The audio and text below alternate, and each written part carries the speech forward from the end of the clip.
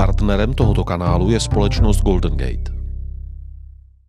Taky vám pořád vrtá hlavou, jestli existuje nějaké zhrnutí, poučení z toho, co přinesl COVID a co bychom si měli vzít do budoucna? Asi se budete divit. Odpověď jsem hledal v rozhovoru s profesorem Janem Konvalinkou, mužem, který v covidové době odvedl spoustu práce a byl velmi blízko nejvyšších míst v naší zemi, jak v politice, tak ve vědě i v médiích. Jan Konvalinka je biochemik, ředitel Ústavu organické chemie a biochemie Akademie věd. V letech 2014 až 2022 byl prorektorem Univerzity Karlovy pro vědu a výzkum. Jeho jméno také určitě znáte v souvislosti s fondem Neuron, kde je předsedou vědecké rady. Věnuje se výzkumu virů, specializuje se na virus HIV a ještě před vypuknutím světové pandemie se zaměřil také na koronaviry. Plné znění rozhovoru bez reklam, včetně bonusu, najdete na herohero.co lomeno Petr Horký. Předem díky za každý like, sdílení i komentář. Zrovna pod tímto rozhovorem očekávám aktivní diskuzi. Ale kdo ví, třeba se pletu. Každopádně post-covidový Houseboat Talk právě začíná. Pan profesor Jan Konvalinka je tady velmi vzácným hostem dnešního houseboatu. Já vás tady vítám, pane profesore, dobrý den. Dobrý den. Moc si vážím toho, že jste sem přišel. Běží mi hlavou taková ta aritmetika, kolik velkých věcí nebude vybádáno, protože vy ztratíte hodinu svého vzácného času tím, že se spolu budeme bavit. Kolik dokumentů nebude podepsáno, kolik formulářů nebude vyplněno, je to se bohužel takhle. Tak. Je to takhle, máte pocit toho, že vás ta administrativa takhle jako dusí? A tak teď jsem, teď jsem ředitel velkého ústavu, který má tisíc zaměstnanců, takže, takže jsem si to, nemůžu jsem to stěžovat, já si to tak vybral. Takže, ale ano, velká část mé práce teď je, abych neřekl administrativní, ale, ale eh, formálně není, není ryze vědecká, je opravdu řízení ústavu a naštěstí v mém případě, protože mám skvělý tým, tak je to spíš strategický e, rozhodování a vymýšlení, ale bohužel ještě pořád je tam teda spousta těch podpisů, dobře, který dobře. bohužel chtějí toho, toho ředitele. Tak o, o to více já vás poprosím, omlouvám se za jako možná banální otázku na začátku, ale nám to pomůže strukturovat potom to naše povídání. E, kdybyste mi pomohl správně usadit vaši odbornost a vaše pole, ve kterém se pohybujete. Vy jste biochemik. To je velmi jako moderní a dynamicky rostoucí obor, ale ne úplně každý si pod tím jasně představí, co to znamená. Je dobrá otázka. Já vlastně teda, a vůbec není triviální, protože, eh, a možná, že to je důležitý říct, že vlastně dneska člověk něco vystuduje, něco dělá a potom se vyvíjí a, a vlastně ty obory se velmi silně překrývají. Takže já jsem vystudoval biochemii na Přírodovědecké fakultě Karlovy univerzity a mám vlastně doktorát a později profesuru v oboru biochemie, takže já jsem mhm. biochemik. Biochemie je obor, který se zabývá chemickou podstatou živých procesů. Ty souvislosti vždycky slyším, že, že chceme pole bez chemie. Mně to přijde zábavný, protože... Vy vidíte chemii ve všem. Tím ta chemie je úplně všude, že? takže to je jako říct, že chceme pole bez fyziky. Jo? Prostě jo. ta gravitace tam prostě je, ať ji chceme nebo ne. Ta chemie tam je, ať ji chceme nebo ne. Eh, chemické procesy, procesy, kde interagují molekuly mezi mhm, sebou, mhm, mhm. nebo atomy za vzniku molekul, jsou eh, základem života, základem všeho, co kolem sebe vidíme. A, a biochemie zkoumá molekuly, které mají vliv na, nebo rozhodují, nebo jsou součástí živého světa a života, tak jak ho známe. Takže to je biochemie. Nicméně, to, co já doopravdy dělám, je vlastně něco na hranici mezi, mezi chemií, organickou chemií, syntézou a, a biologií. Dneska se tomu módně říká chemická biologie. A součástí té chemické biologie je taky to, čemu se taky říká medicinální chemie. To znamená hledání molekul, které, látek, které by mohly potenciálně vést buď k terapii, k lékům, anebo k diagnostikám, k něčemu, že bychom mohli zjistit, jestli ten patogen je nebo není přítomen, jestli, jestli ta buňka je nebo není nádorově eh, zvrhlá a mohla by vést k vývoji rakoviny. To je to je asi nejbližší popis toho, co, co moje laboratoř a co, co my děláme. Vaše obrovské téma právě je nádorové bujení a rakovina, a, ale vy přitom ji přímo neléčíte. Vy nejste lékařem. Děkuji, to je hodně důležité, že to říkáte, a to vždycky se snažím důrazit. Nejsem lékař. Když maminka hrozně stála o to, abych vystudoval medicínu, ale nejsem lékař. E, a vlastně my teda třeba pracujeme se vzorky z pacientů, ale jenom ve spolupráci s klinikama a e, my jsme tedy chemici, teoretici, kteří, kteří které zajímá, zajímí ty molekuly. Můj učený přítel Ladislav Machala vždycky říká, že mě ten svět, ten život zajímá, když ho proženu před tím lenkem na maso. Jo. že vlastně to rozdrtíme, tu živou hmotu a koukneme se na ty, na ty molekuly, jak fungují. Čili e, My taky pracujeme s principy nádorového bujení, ale nás opravdu zajímají ty molekulární principy, ale když tam na něco přijdete, tak ta cesta k potenciální látce, která by mohla vést k terapii nebo, k, nebo k diagnostice, se tam nabízí, čili to je samozřejmě strašně zajímavé. Ale je tam asi časový prostor. Vy, vy teď bádáte nad něčím, co v ideálním případě v nějakém časovém horizontu teprve bude zařazeno do diagnostických metod nebo do léčebných postupů. Ta diagnostika jde rychleji, mm-hmm. ale třeba u covidu se to ukázalo, jsme vyvinuli diagnostiku během týdnu a, a byla to ta mimořádná doba, ale byla schválena během měsíců a používala se velmi rychle. Co se týče e, léků, tam je to 10 až 15 let a hlavně investice ve výši jednoho až dvou miliardy dolarů. Čili to jsou obrovské investice a spousta času a, a práce, energie a štěstí. Tím se nám už tak jako krásně rozevřelo to pole témat, o kterém bych rád dneska hovořil. Druhá vaše doména jsou viry. To je právě už ten COVID, který jste zmínil. Eh, já bych v první části našeho rozhovoru se k tomu milionkrát přežvíkanému tématu s dovolením vrátil, protože mně chybí něco jako poučení z covidového vývoje. Eh, já mám pocit, že když se tady stalo na celém světě něco, co ten svět na dva roky dramaticky zasáhlo, a nechám na každém, ať si to vyloží, jak chce, tak bychom z toho měli vycházet nějak jako poučení. Když přijdu do hospody a dají mi po hubě, tak si řeknu, až tam příště půjdu, dám si pozor na opilýho chlapa po pravé ruce. A nebo tam nebudu chodit. A, přesně tak. A tak nějak bych čekal, že podobné poučení bude i z toho covidu. Existuje třeba na vědecké úrovni, na politické úrovni, jenom tak jako veřejně se o tom nemluví? Myslím teď v naší zemi, v České republice. Já myslím, že ne. A já myslím, že se snažíme zapomenout všichni. A navíc jako cítím, cítím velmi silnou snahu lidí, kteří se ale prokazatelně, opakovaně, a řekl bych tragicky mílili, a to, to, to říkám zdvořile teda, tragicky mm. mílili. Já si můžu dovolit jako neakademický ne, vědec říct, že kecali, vymýšleli si. Ano, tak eh, se teď snaží obhajovat a říct, podívejte se, jako nakonec jsme měli pravdu my. Takže tím škodí ještě víc tím můžou chodit do budoucna ještě víc. A ono je to matoucí a komplikovaný eh, proto, a to je mimochodem zajímavý i třeba i filozoficky, že ten virus se měnil, měnila se způsob naší odpovědi, jako myslím, imunitní odpovědi e, nás lidí na, na virovou infekci, měnila se taky stav společnosti, e, takže to byl strašně dynamický proces během těch dvou lidí. Taky jsme očkovali mezi tím, umírali lidé, prodělávali tu chorobu. Čili v zásadě skoro všechno, co se o tom viru řekl, tak v nějakou etapu bylo pravda. Uh-huh, Například uh-huh. teď, když vám řeknu, že COVID je prostě jenom další infekční onemocnění, které je třeba pečlivě sledovat, ale není třeba ho dramatizovat, tak je to bez pochyby pravda. Nebyla to pravda v březnu 2020. Uh-huh. Rozumíte? Uh-huh. Čili lidé, kteří tehdy tvrdili, je to další infekční onemocnění, neblázníte, nepanikařte, prostě jako e, všechno je v pohodě, tak teď mohou říkat, podívejte se, teď už to říká každý, měli jsme pravdu, ale neměli. Umřelo 40 tisíc lidí, z nich nejmí polovina zbytečně. To je děsivá informace. Je.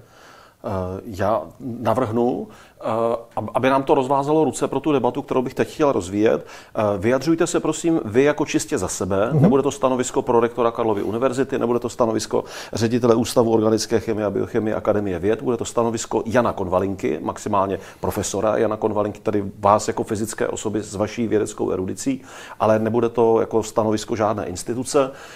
Kdybyste vy sám si měl říct nějaké poučení z covidového vývoje, budeme schopni to nějak strukturovat a k něčemu se dobrat? Tak já jich vidím několik, několik je na institucionální úrovni. Já hmm. jsem teď se pustil trochu do, do lidí, kteří se tomu vyjadřovali, ale to je jenom část toho problému. Hlavní problém je, je organizačně instituci, institucionálně, to je důležité říct.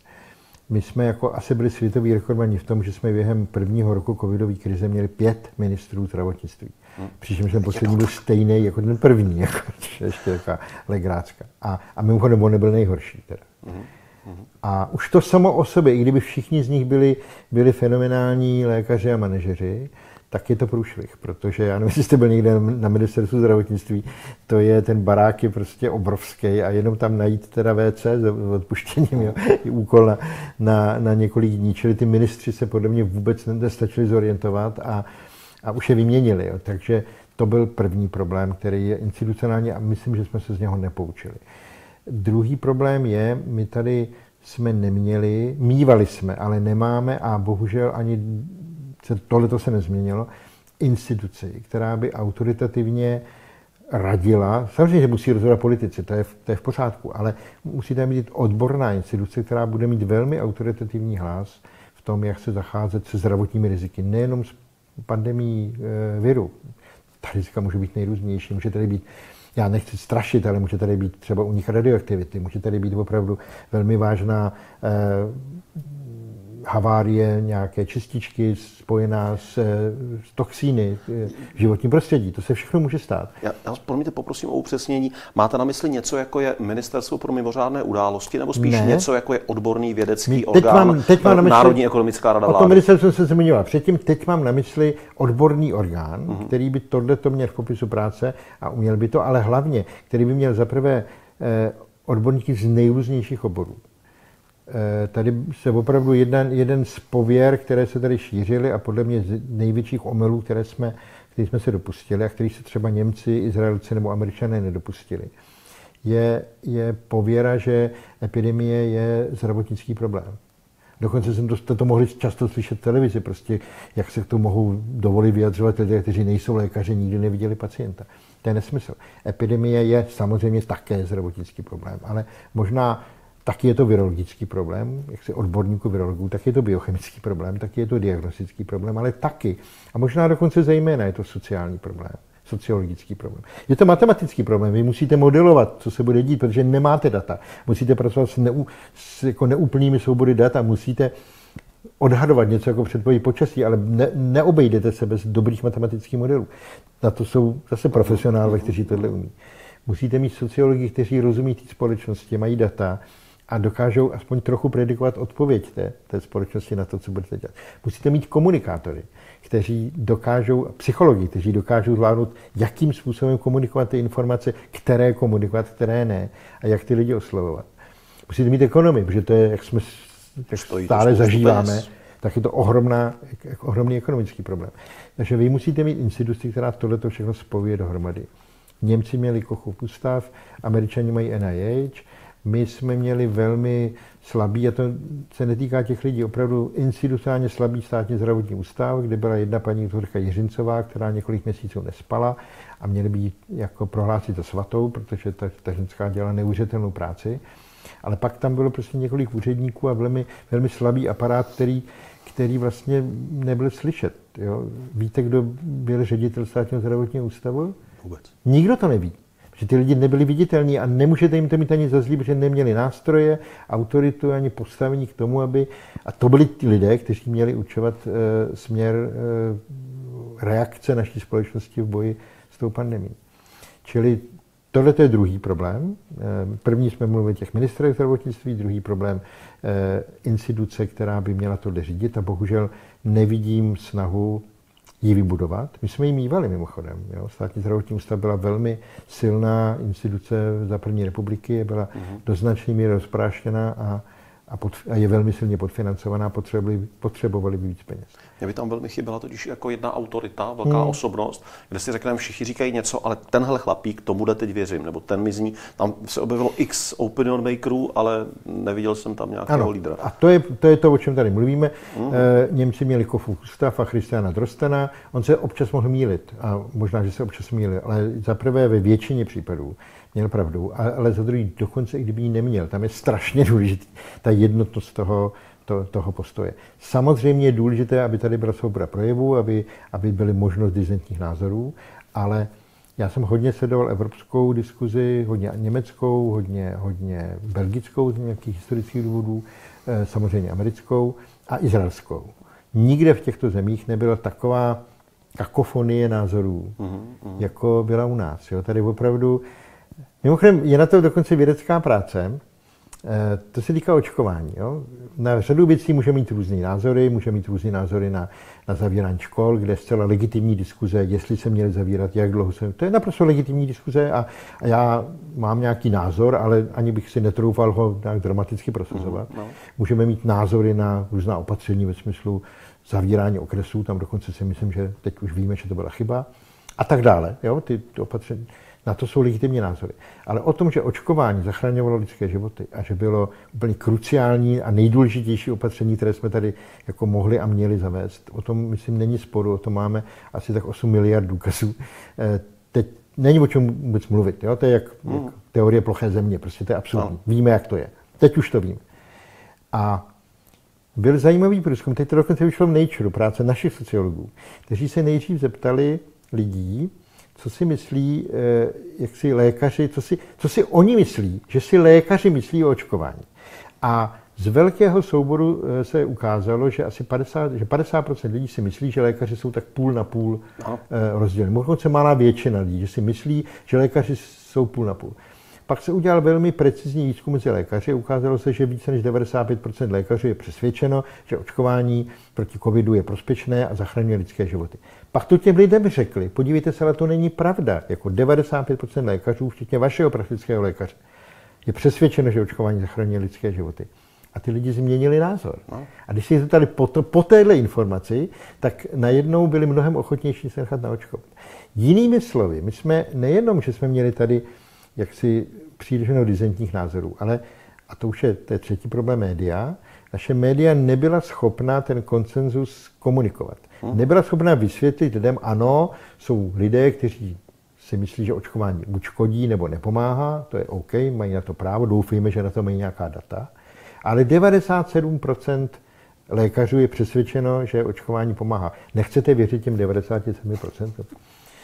A teď si malinko zahraju na svoji polivčičku. Já jsem se určitě taky mnohokrát pletl a když za těch asi 120 hodin rozhovorů v rádiu, kdyby někdo potom šel, tak bez pochyby najde omily, chyby nebo nepřesnosti. Ale já jsem opravdu, jestli jsem se o něco snažil, tak to nebylo říkat názory Jana Konvalinky. Já jsem opravdu jsem se strašně snažil prostředkovat mezinárodní odborný konsenzus. Uh-huh, Čili co uh-huh. říkají kolegové na Harvardu, na University College London, co říkají v tom Kochově ústavu v Německu. Velmi pečlivě jsem to sledoval a snažil jsem se to říkat a snažil jsem se velmi pečlivě udělovat. Tohle víme, takhle to je, to je jasné. Uh-huh. To si opravdu myslíme a je to hodně pravděpodobné. A tady fakt nevíme. Jo. To bylo velmi zajímavé, když jsem poprvé řekl paní, paní Tachecí, že nevím, tak ona byla úplně jako, co? Jako, jste profesor, tak jako, co, co nevím. To je mimochodem, a to je hodně česká záležitost. Eh, ne, moji kolegové velmi často se bojí říct, že neví. Já se velmi rád hlásím k tomu, že mé první vystoupení na vědecké konferenci byla obhajoba slova nevím. A velmi ho jako oceňuji, když zazní ve veřejném prostoru, protože si myslím, že to naopak není projev slabosti, ale jisté moudrosti a vědomí si svých vlastních hranic, protože je zcela legitimní nevědět všechno. A tady se dostáváme ke řekněme, čtvrtému, mýmu osobnímu poučení, co se tady stalo tahle kultura tady není e, rozšířená a, a teď jako říkám to nerad, moje sestra je lékařka, si lékařů strašně vážím, mezi, mám mezi nimi spoustu přátel a obdivuju je. Ale bohužel, a myslím, že to je kulturní záležitost a způsob výchovy našich mladých lékařů, že tam ten svět je mnohem hierarchičtější než mezi přírodovědci a, a ostatními vědci. Mm-hmm. Já třeba, a teď to opravdu není proto, že jsem takový cool chlapík, ale já si se všemi studenty v laborce tykám. A je to důležité, aby oni mě tykali, já jim tykám. Protože já od nich potřebuju, aby mi řekli, Honzo, tohle je pitomost, to není pravda, mm-hmm. co mhm, říkáš. Mm-hmm. Ten pokus je blbě naplánovaný, tak to nebude fungovat. Já to potřebuju od nich slyšet. A když mi to budou říkat, budou říkat Honzo, hele, tak to se řekne mnohem snad, než pane profesore, vy se mílíte. Jo? To je těžší. Tohle to je aspoň na většině lékařských fakult nemyslitelný. Jo. Pan profesor je pán Bůh, dokonce docent je polobůh a ještě asistent je pořád jako, jako velká autorita. Já tomu rozumím, tam jde o život, tam to rozhodnutí je důležitý a, a musí být nespochybnitelný, protože občas se třeba prostě rozhodnout a ne za to odpovědnost. Já tomu jako velmi rozumím, proč to tak je a v té klinické praxi je to asi správně. Ale když takhle vychovaní lidé hovoří o novém problému dozdělovací prostředků, tak se jim strašně špatně říká, že nevědí. A strašně špatně se jim říká, že se mýlili třeba. Uh-huh, uh-huh, Což já uh-huh. jsem opakovaně připustil, že jsem se splet. Když jste profesor medicíny, tak asi se vám to říká hůř a bohužel to bylo na tom veřejném diskurzu cítit. Hmm, já myslím, že každému teď vytanou různá jména. To nechejme, nechejme to být. Ne, tady ani není cílem ukazovat na nějaké pomyslné výniky, ale opravdu si jakoby uh, vymacerovat z toho času, který tedy trval minimálně ty dva roky, ale má to nějakou předehru a nějaký dozvuk do dneška, jako jak eh, jít dál do toho dalšího života, protože já jsem přesvědčen, že dřív nebo později, a teď nechci jako šířit poplašnou zprávu, teď chci jenom jako naopak stát nohama na zemi, dřív nebo později něco podobného prostě přijde. To je vysoce pravděpodobné, že něco podobného se zopakuje. Budete mi to rozporovat, eh, vážený pane odborný virologu? ne, ne, nebudu, určitě, určitě přijde. Eh, přijdou virové infekce, ale ještě jenom přijdou, přijdou nové věci, které ta budoucnost je zajímavá v tom, že ji neumíme predikovat. Kdybychom ji uměli, tak žádná není. Mm-hmm. Takže je to dobře, že ji neumíme predikovat. Ale to, co se tady stalo, a můj učený přítel Štěpán Jurajda to formuloval velmi přesně, jako vynikající ekonom a sociolog, který řekl, že tady v této kotlině jsme měli takovou možná desetiletí, možná až staletí trvající společenskou smlouvu že vlastně ten stát se o vás nějak postará. Jo? Uh-huh. Nemáme tady velký mrakodrapy, nemáme tady uh, Apple ani, ani uh, Google, uh, nemáme tady zlato ani ropní vrty, ale docela dobře se tady žije. Stát je takový málo funkční a takový hrozně drahý a trochu takový chropotivý, ale nakonec se o vás postará nějak. A my teda trochu brbláme, ale vlastně jsme velmi loajální. Jako, když to vezmete dlouhodobě, jsme docela loajální národ. A teď nás nechali 40 tisíc lidí umřít. Jo. Mm-hmm. Spíš neschopností než tím jiným, ale ty lidi prostě opravdu jako nechali umřít. A tady, a teď si tu Štěpána Jurajdu, se nám zlomila ta společenská smlouva. Jo. Ten stát se o vás nepostará. A ne proto, že by eh, jako nechtěl nebo byl tak zlej, ale že je prostě neschopný. Že ten stát prostě nefunguje natolik, že dokonce nechává zbytečně umírat svoje občany. Takže to poručení do budoucna taky by mohlo být, holce musíme postarat sami. Což není nejlepší poučení, jaký bych si rád z toho vzal, ale když to vezmeme pozitivně, jako opravdu jedno z poučení je, že se musíme opravdu starat o svoje zdraví, to je určitě dobré poučení. Což je po, pozitivní, opravdu, že to není jedno, že je jasná korelace toho, jak prostě byli lidi obézní, eh, jak umírali na COVID a platí to pro celou řadu dalších chorob. COVID samozřejmě není eh, nadále jako důležitou příčinou smrti. Takže sportovat, starat se o svoje zdraví, nechávat se očkovat pravidelně tam, kde to je zapotřebí, chodit na zdravotní preventivní kontroly. To jsou takové banální věci, to tady teď vykládám. No, ale prostě mají opravdu obrovský vliv ale na to. Je to opravdu poučení teda, jo? Tohle to je hmm. poučení, prostě ten stát se o vás vlastně jako nemusí tak úplně postarat, jak jsme si mohli myslet. Pojď, za svoje zdraví máte primárně odpovědnost vy sám, za svoji rodinu máte primárně odpovědnost vy sám, starejte se o sebe a o ně. Beru toto jako jedno z ponaučení. Ano, jedno ponaučení. A přijetí zodpovědnosti za zdraví mě a mých blízkých je určitě velmi dobré ponaučení, ale nemohu se srovnat s tím, že bych to bral, obzvlášť ještě od vás, jako ten jeden hlavní výstup, protože ten stát spoustu věcí udělal. Konec konců i vy jste se dotkl toho, že eh, právě spolupráce českých vědců dokázala velmi rychle vytvořit diagnostickou metodu, která umožnila eh, rozeznávat, eh, kdo nemocný je, kdo nemocný není. Tady je x kroků, které ten stát skutečně provedl a ano, bez to nich by se nám vedlo velmi to zle. To neudělal stát. Jo. Konkrétně jednotlivci? No, tak například, ty, a těch diagnostických metod bylo vyvinuto hned několik na různých pracovištích.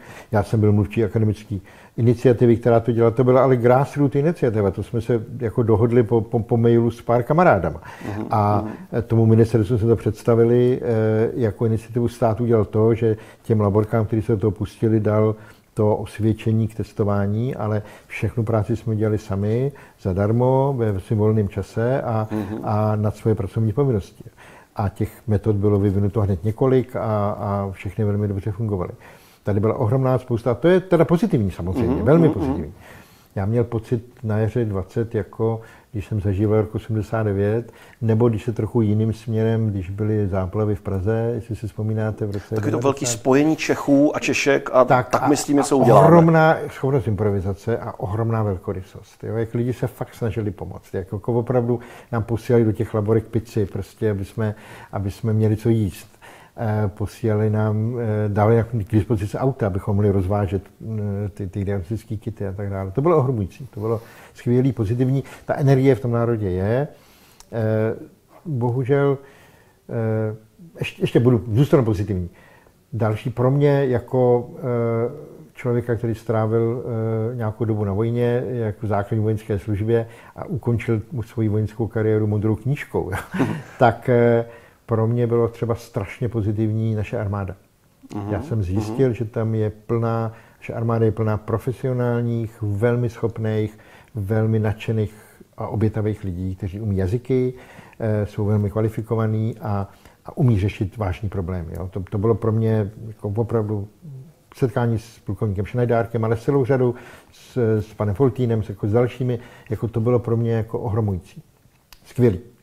Eh, zjistil jsem, že je tady spousta extrémně obytavých lékařů a sester, kteří prostě dělají věci, které by opravdu nemuseli a byli na hranici zhroucení, co všechno mhm. dělali a, a velmi obytavě se starali jako o svoje lidi. Že na téhle úrovni to bylo senzační a vlastně skvělá zkušenost. E, ty organizační složky státu fungovaly prostě příliš e, pomalu a špatně. Já tady nemůžu nezmínit chaotický způsob vedení skoro všeho předsedou vlády Babišem, tady to jméno teda řeknu, protože způsob, jakým on to dělal, byl, byl, byl skandální a on prostě on bohužel nese odpovědnost za to, co se tady dělo, protože on byl předseda vlády a on opakovaně tu odpovědnost což ní hlásil, teda, musím říct. Teď už mu to nikdo nepřipomíná, ale, ale on byl předseda vlády v té době. A, ale pojďme zůstat pozitivní. Eh, to, co se nepodařilo eh, vytvořit, je institucionální zakotvení, a teď jako vědec bych měl mluvit o tomhle, institucionální zakotvení vědecké instituce, která by eh, budoucí krize tohoto typu pokrývala, odborně dokázala zvládat a radit politikům, jak, jak postupovat. Ještě jednou, já opravdu nepléduju pro nějakou diktaturu vědců. To je uh-huh, důležité uh-huh, říct. Uh-huh, já si nemyslím, že, že, že s pandemí končí lidská práva a teď rozhodují lékaři nebo vědci nebo biochemici. Rozhodně ne. Uh-huh. Musí rozhodovat politici a musí rozhodovat podle, podle, podle zákona ústavy. Ale potřebují k tomu mít profesionální aparát a dobré rady. A ten Babiš by vám právě mohl říct, že každý jeho chaotický rozhodnutí mu podpořil nějaký profesor. A ti, kteří měli přijít, nepřišli. To, a ti, kteří měli přijít, nepřišli. Ano, ano. Ale ono to totiž, eh, Bohužel milionkrát mu to bylo řečeno zpátky, ale zrovna toto je věta, kde jsem si říkal, ona má zdravé jádro. Jako. Jo, já dokonce vím, kdo to byl, kdo mu v jaký okamžik, v jakých týdnech jeho chaotických rozhodnutí radil. Mm. A Tady jsme neměli instituci, která by měla autoritu dost silnou na to, aby, aby ty, ty, ty, ty rady, a to s velkou komplexitu. Tady byli lékaři, byli tady, eh, byli tady virologové, byli tady biochemici, byli tady eh, matematiční modeláři a epidemiologové. Neměli jsme tedy tu, tu, tu velkou silnou instituci, která by to řídila. To už se opakuje. To by asi bylo velmi cené, aby taková vznikla. A kdyby ještě na každém tom poli se takhle jeden odborník aspoň mohl vyjádřit ve smyslu já, ale ze své odbornosti a ze své zkušenosti, která v tom covidu jistou hloubku měla, jako ve vašem případě. Ano, eh, mám toto poučení a tuto zkušenost, tak si myslím, že by to rozhodně na úrovni řízení této země, ale i na úrovni jednoho každého z nás bylo docela ceným zjištěním, protože k těm jako reálným zkušenostem jste se dostávali vy, kteří jste to nějak řešili. My ostatní jsme byli spíš zmítáni různými příkazy, pokyny a pak svým selským rozumem, nakolik to teda respektujeme nebo ne, což pak je samozřejmě téma samo pro sebe, pro sociologii jo. a, tak dále. A ještě, aby to ukončil ještě dvě věci. Jedna věc je, a já nemám rád jako nadávání na média, média hmm. dělají svoji práci a, a tady nebyly jako hlavními vyníky, ale je třeba říct, že způsob, jak zejména některá, některé televize tu věc zpracovávaly jednak jako opravdu hodně